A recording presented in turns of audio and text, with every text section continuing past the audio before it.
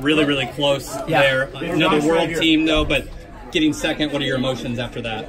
Um, a pretty, I guess uh, no one no one likes to lose, but Craig's in phenomenal form. Um, I think I would I would probably put him as the favorite coming into this meet, just with how his outdoor season is going and, and compared to mine. Um, so I mean, I'm, I'm definitely happy to be on another team. Um, I'm more excited that. Uh, where I am right now, and give myself another two more months to really prepare and, and know that um, I was so far uh, behind to start the season that um, I think there's going to be a lot of guys. I'm not not talking Americans, but just uh, worldwide, probably coming back. I, I would imagine um, with this late uh, World Championship. So um, I'll be I'll be certainly gaining steam. I'm more concerned about myself, worried about myself than than others. But um, I, I promise you, if I if I end up staying healthy these next two months, I'm going to be in pretty pretty damn good shape. So I, I know you guys aren't training partners anymore, but it seemed like you guys were pretty close when you when you both were at the Oregon Project. You happy for him that he got that? Yeah, of course. Um, Craig, Craig's a fun guy. Um, you, you could tell, obviously, the before the race, just the the audience he had and, and all of his fan base and friends and family that were in the stands. Um, and obviously, with his appearance, you could tell he's uh, yeah he, he he has a very um, I don't know. Um, it's not like a, your, your typical middle distance distance uh, running personality. So I think it's I think it's great. I think he uh, he brings a, a different spin to the event and to the sport. And uh, but I'm overall I'm just happy that I think it's his first outdoor title. So um, he, he'll definitely be a force for the, the next few years. So Can you walk me through the decision making on the last lap? yeah, yeah, no. Um, I think I tried. I didn't really try super, super hard, but I tried to kind of get the pole position um, right after the quarter. We were kind of arm checking a little bit, um, and obviously I, I knew it was going to be easy just to go around him. Uh, you know, he's a 144 guy right now. A couple weeks ago, so I didn't know really what when I did that if I was actually going to think it was going to be that easy and, and, get it, but I did know it was going to be pivotal, um, and I think that could have been the deciding factor right there. I mean, it was going to be hard for me to to really get around him without making a, a really hard move somewhere in that last lap, and so yeah, he just had the hole inside and forced me to run um, you know, those extra few meters that um, probably made the difference for how many, I don't know how many hundredths of a second I was behind him, but um, he made he made a really good move uh, with 150 to go that I felt like um, to be honest, at that time, I was like, I don't. I mean, I could probably cover this and go with it, but I didn't know what that would uh, leave me with the last 50 meters, last in the last 100 meters, and I didn't know where anyone else was behind me.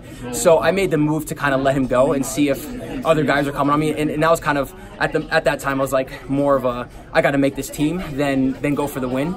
Um, and then with about 50 to go, as no one went by me yet, and I found kind of another gear and, and kind of started coming on him. Um, I think it showed. Uh, I should, probably should have relied a little bit more on my strength and gone with them. But you know, um, I had to make that decision right then and there, and, and um, I thought securing my spot on the team was more um, pivotal than, than going for the win. Were you in the lead at the No. bell? Or no, you never got. He, he also had the inside. I mean, we could have been neck and neck. I, I don't know. I mean, if I did have the lead at the bell, he still had the inside on me. So Yeah. it didn't feel like I ever had the lead. Do you wish you had fought him harder for it at that point? No, because like I said, I, I don't. I don't think I would have had. To, I would have had to make a really, really hard surge, and I don't know what that was going to lead me. I think I learned, and, I think Blankenship learned. You know, we, we kind of did that game with each other in 2017, and that left that left me dry that last hundred. I only had so many moves that last lap, and I'm getting older, man. I'm just like, you know, with the with the way I don't I don't want to say like I played conservative, but I definitely felt like I had to make sure I made that team more than than go for the win. Um, as you know, um,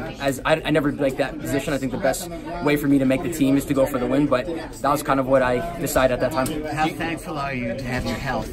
And Absolutely, yeah. I mean, I'm. I I think uh, since 2011, you know, I these these teams uh, I don't take for granted. You know, it's like. Um, every year it seems like to, to be getting harder and harder. Uh, my fresh my freshman year, my first year when I won out of college, so naive, kind of went into it. Um, you know, just ex- more excited at the opportunity. Now I'm like, not dreading it, but I'm more like, man, this, I don't remember this shit being so nerve wracking, you know. Um, but you know, I saw Leo after the race was giving our awards, and uh, you know, I just told him like much respect for you know your longevity as I'm kind of realizing like just you know how hard it is to to kind of continue making these teams as, as you get older. So um, I don't take this for granted. We have a great team. We're sending to Doha, and uh, I'm, I'm just like you said, I'm excited that. I'm healthy right now, and I'm, I'll be able to put in some really good training these next two months. When we spoke at pre, you hadn't been training under Jerry for that long while you were healthy. What now that you've had a healthy block, what is the biggest difference you've seen between him and Alberto's system? Uh, I mean, I think I think I kind of mentioned that pre. Just like felt like uh, he Jerry's a little bit more conservative with kind of the speed, and he's a little bit more strength oriented. Um, I don't think we really have any. I can't remember any like workouts that are just dedicated strictly to speed, whereas Alberto we had a, a lot more of those. So um, yeah, Jerry's just a lot more miles. Without getting too much in depth, I mean, I'm training with the, the 10K and 5K US champs, so um, I think my strength is is, is there, and I, I, definitely have a lot of confidence moving forward with that. And uh, as I'm getting older, I think it's actually more beneficial for me to be in under Jerry with, with that kind of training, as you know, your, your legs don't move quite as um, quickly and, and they don't feel as uh, fresh as they did when you're just coming out of college. So. Yeah. I mean, obviously you just made the 15 team, but like, do you think about moving to the 5K and like looking at what Lopez has done? Um, you know, I've always like tried to throw in a 5K. Uh, a season, even back when I was in college and with Alberto. And um, you know, this year there weren't really too many opportunities as I started like a little bit late. But um, who knows? Maybe maybe sometime this summer before Worlds, I might be able to find an opportunity to kind of get in one, or certainly next year. But I think Jerry's is definitely open to the fact of me, of, of me running one.